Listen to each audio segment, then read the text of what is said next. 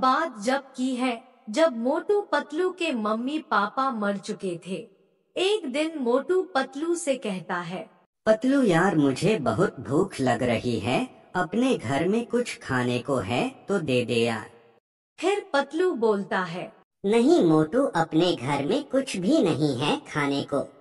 थोड़ा आटा रखा हुआ था जिसकी मैंने कल रात को ही रोटी बना दी।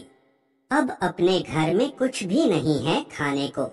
पतलू, अगर आज अपने मम्मी पापा ज़िंदा होते तो आज अपन दोनों को ऐसा दिन देखना नहीं पड़ता और ना ही ऐसे भूखे रहना पड़ता। हाँ मोटू, जिन बच्चों के मम्मी पापा है, वो बच्चे कितने खुशनसीब हैं। फिर दोनों बेचारे वोटू पतलू भूखे ही सो जाते हैं। फिर अगले दिन सुबह जब मोटू पतलू सो के उठते हैं तो पतलू मोटू से कहता है मोटू में काम ढूँढने के लिए बाहर जा रहा हूँ। फिर मोटू बोलता है पतलू तुम छोटे हो तुम्हें कुछ काम भी नहीं आता तुम्हें कौन काम देगा? मोटू में काम करने नहीं जाऊँगा तो अपन भूखे ही मर जाएँगे मुझे कुछ ना कुछ तो काम मिल ही जाएगा। यह कहकर पतलू अपने घर से निकल जाता है।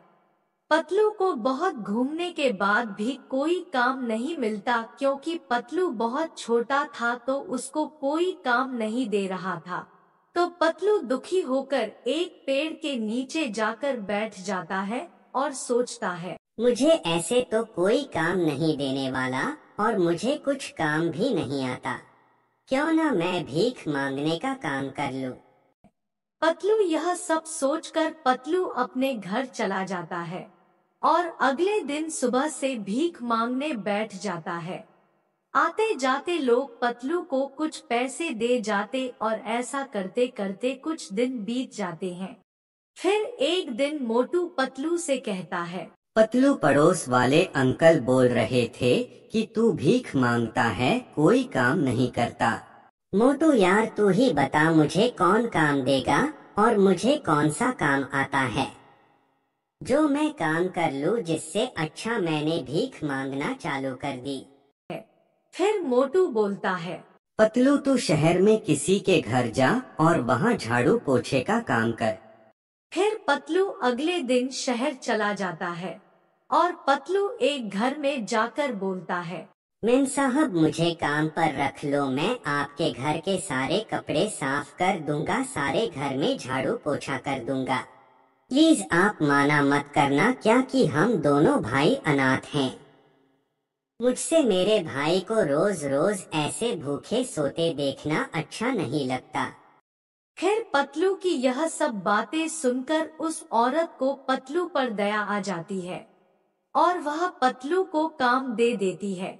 खैर, पतलू रोज सुबह उनके घर काम करने जाता और शाम होते ही अपने घर वापस आ जाता।